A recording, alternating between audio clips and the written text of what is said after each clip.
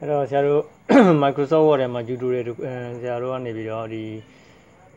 formula တစ်ခုသင်္ချာ formula လေးဆရာတို့ဘယ်လိုရိုက်မလဲဆိုတာဆရာတို့ဒီ tutorial လေးမှာကြည့်အောင်နော်။အဲသင်္ချာ formula လေးရိုက်မယ်ဆိုရင်တော့ဆရာတို့က Microsoft Word မှာပါတယ်ဆရာတို့ insert တွေက equation ဆိုတဲ့ function ဆရာတို့သွားမယ် equation ကိုဆရာနှိပ်လိုက်ဟုတ်ပြီပြီးလို့ရှိလို့ရှိရင်တော့ဆရာတို့ကနေပြီးတော့ပထမဆုံးအနေနဲ့ဆရာတို့ဒီအခုရိုက်မဲ့ပုံစံလေးကိုကြည့်လိုက်တဲ့အခါ အဲဆရာတို့မြင်ရမှာကသူ့ကိုဆရာတို့ဘယ်လိုမြင်မလဲဆိုတဲ့အခါကျတော့အဲ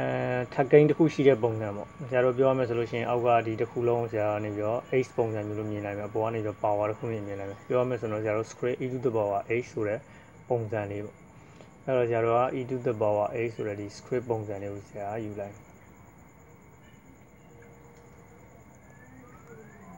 ဟုတ်ပြီပြီးလို့ရှိရင်ဆရာတို့ကနေပြီးတော့အပေါ်ထက်ကိန်းလေးကိုဆရာရင်စရိုက်မယ်2.3ဆိုတဲ့အဲဒါကြောင့်မလို့ဆရာအပေါ်ထက်ကိန်းနေရာလေးကိုဆရာ click နေတယ်ဟုတ်ပြီပြီးလို့ရှိရင်ဆရာ friction သူကနေပြီးတော့အပေါ်ထက်ကိန်းဒီ2.3ဖြစ်တဲ့အတွက်ဆရာတို့ကနေပြီးတော့သူကအဲနှုတ်ဒီနေရာမှာဆရာတော်နေပြီးတော့ဟောသွားယူမလို့ဆိုဒီ friction ဆိုတဲ့ဟာတွေကိုဆရာယူ friction မှာမှဆရာတို့ကြိုက်တဲ့ပုံစံလေးဆရာယူလို့ရတယ်အဲ့ တော့ဒီပုံစံလိုချင်လားဒီပုံစံလိုချင်လားပေါ့ဟုတ်ပြီဆရာကိုကတော့အဲရာ small friction နဲ့ယူလိုက်မယ်နည်းနည်းသေးသေးလေးလိုချင်အဲ့လိုဆိုရင်ဆရာတော်နေပြီးတော့ပေါ်ဘက်ကဆရာတော်နေအဲ2ကိုရိုက်ဖို့အတွက်အပေါ်အကွက်လေးမှာကလေးနှိပ်မယ်။ဆရာ2လို့ရိုက်မယ်အောက်က3ကိုရိုက်ဖို့အတွက်ဆရာအောက်ကအကွက်လေးကိုကလေးနှိပ်မယ်ပြီးရင်ဆရာ3လို့ရိုက်ရပြီဒါဆိုအပေါ်ဘက်အတွက်ဆရာတို့ power အတွက်ဆင်ပြေသွားတယ် အောက်ကတစ်ခုလုံးရိုက်ဖို့အတွက်ဆရာတို့သူကအောက်ကဆရာတို့အကွက်လေးကိုပြန်ပြီး select ပြန်တော့ click ပြန်နေအဲပထမဆုံးအနေနဲ့အောက်မှာဆရာတို့နေပါတွေ့ရလဲဆို base မှာဆရာတို့နေပြီးတော့အရင်ဆုံး green ခတ်တာလေအဲကြောင့်မလို့ဆရာတို့ဘာသွားမလဲဆိုတော့ဆရာတို့ bracket ဆိုတော့ bracket ဆိုတဲ့ဟာကိုဆရာယူလိုက်တယ်ဒီမှာဆရာတို့၄000ဝင်ပြီလို့ဆရာတို့ဆရာတော်ကနေ၄000ဝင်ဆရာကလစ်နှိပ်လိုက်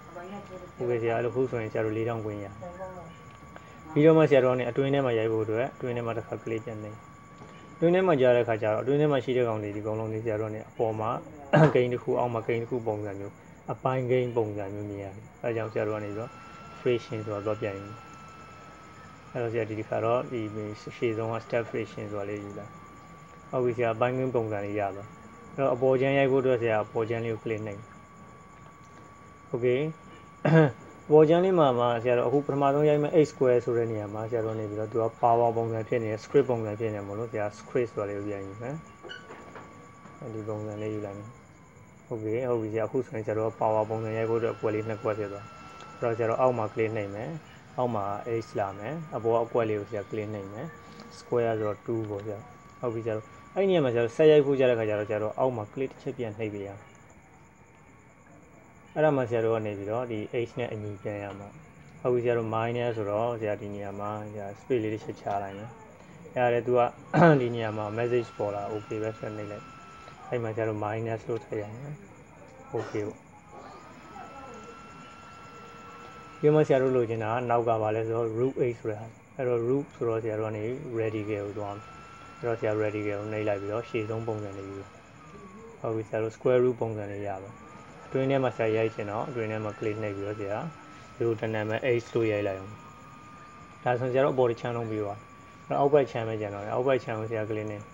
ပြောတော့ရှင်းနေ sin 30 sin 30ကိုဆရာတို့ရိုးရိုးတနစာနဲ့ရိုက်လိုက်တော့ရပါတယ်ဒါမဲ့ဆရာဒီတဲကသူ့မှာပါတဲ့အတိုင်းပဲယူမယ်ဆိုတော့ဆရာတို့ကအဲသူ့မှာကဒီမှာဆရာတို့ sin constant ကဆရာတို့ကပါပြီးသားရှိဟုတ်နော်အဲ့တော့ဆရာတို့သူ့ရဲ့ဒီ function တွေကနေဆရာသွားယူ